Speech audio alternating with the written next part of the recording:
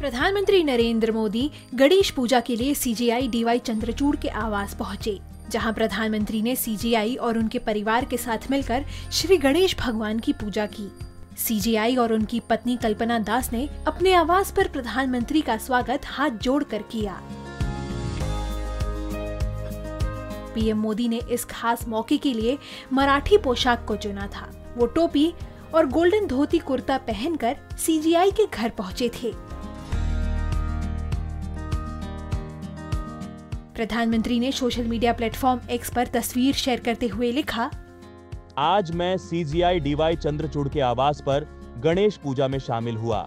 भगवान श्री गणेश हम सभी को खुशी, समृद्धि और अद्भुत स्वास्थ्य प्रदान करें।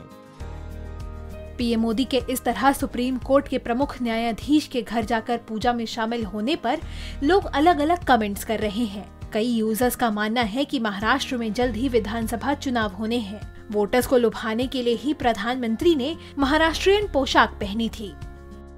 दैनिक भास्कर की रिपोर्ट।